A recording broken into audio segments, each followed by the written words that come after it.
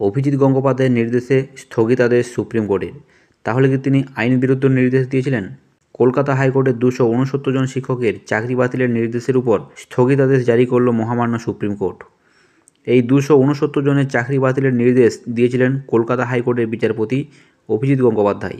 দু হাজার চোদ্দ সালের টেট উত্তীর্ণ প্রার্থীরা বর্তমানে আন্দোলন করছেন।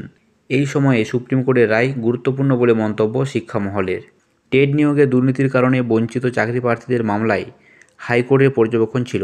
টেটের দুশো উনসত্তর জন চাকরিজীবীর অতিরিক্ত এক নম্বর দেওয়ার কারণ কি, তার সম্পর্কে বক্তব্য স্পষ্ট করতে পারেনি প্রাথমিক শিক্ষা পরিষদ।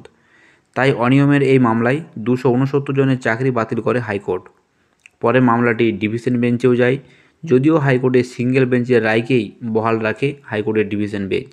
সিঙ্গেল বেঞ্চের তরফে চাকরি বাতিলের নির্দেশ দিয়ে জানানো হয় যতদিন এই নিয়োগের তদন্ত শেষ না হচ্ছে, ততদিন তাদের চাকরি বাতিল।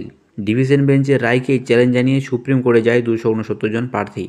সেই মামলার পরিপ্রেক্ষিতে সুপ্রিম কোর্টে দুশো উনসত্তর জনের বরখাস্ত করার সিদ্ধান্তে স্থগিতাদেশ দিয়েছে।